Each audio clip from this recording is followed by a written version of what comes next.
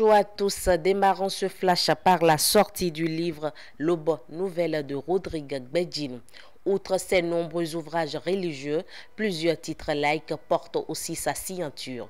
Rodrigue Gbedjin prête de l'archidiocèse de Cotonou. Il révèle avec un style très accessible notre hymne national dans toute sa beauté. En 112 pages, Enfant du Bénin debout nous révèle la richesse de notre hymne tout en relevant la splendeur, la charge éthique, exhortative, morale, civique, historique.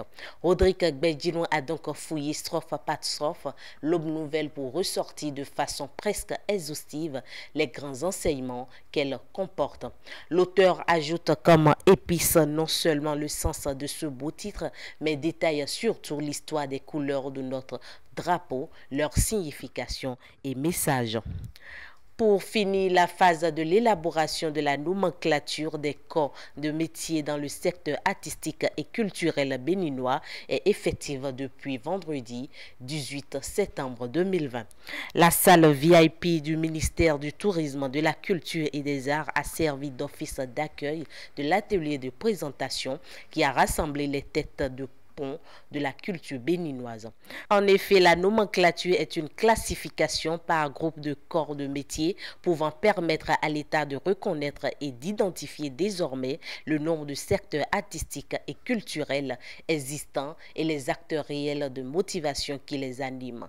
Il a été commis deux consultants et une informaticienne pour la conception de cet outil indispensable au bon fonctionnement de la machine culturelle au Bénin.